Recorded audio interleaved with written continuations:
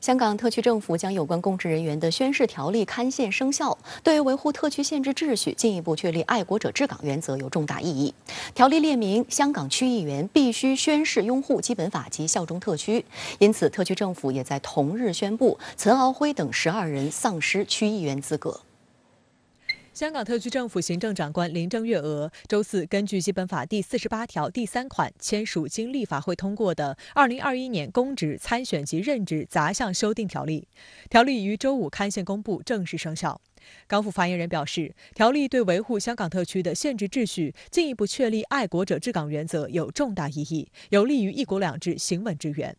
条例清晰定明了拥护香港基本法、效忠香港特区提述的含义，引入区议员需作出宣誓的规定，明确宣誓要求，划一监视人的安排，完善处理违反誓言情况的机制，以及就相关情况在公共选举中加入参选限制。条例进一步确保有关公职人员明确理解他们的限制责任，并保障只有符合拥护香港基本法、效忠香港特区此基本要求的人才能出任相关公职。港府周五在宪报刊登公告，宣布。部十二个选区议席出现空缺，其中南区区议会田湾选区议员袁家卫以及荃湾区议会海滨选区议员岑敖辉，于已终止的二零二零年立法会换届选举中，被选举主任裁定不符合立法会条例有关拥护香港基本法、效忠香港特别行政区的声明要求，因此提名无效，丧失议员的资格，席位从周五起悬空。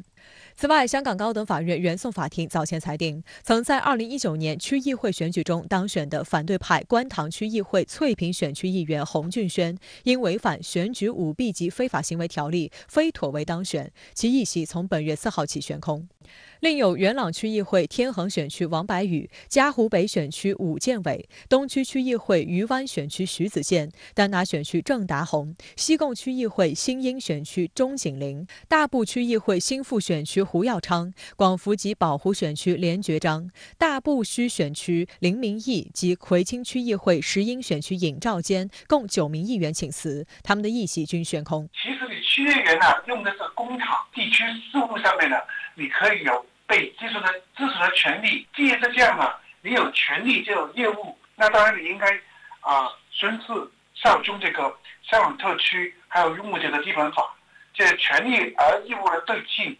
从前没有做，是因为啊整个特区政府到中央政府都对香港的这个通过选举出来的人呢比较啊放心，觉得大家会按照规矩来做事。但是自从二零一九年选举以后，二零二零年一月一号，他们上任以后，他们做的事情就是去啊诋毁这个警察，还有就是支持这个港独啊，那当然就不能这样了，所以要求他们宣誓了。目前，香港十七万公务员已经签署了拥护基本法、效忠香港特区的声明，但也有一百二十九名公务员选择走为上策。观察指出，只有肃清公务员队伍中的余毒，有了好的政治生态，才能保证爱国者治港。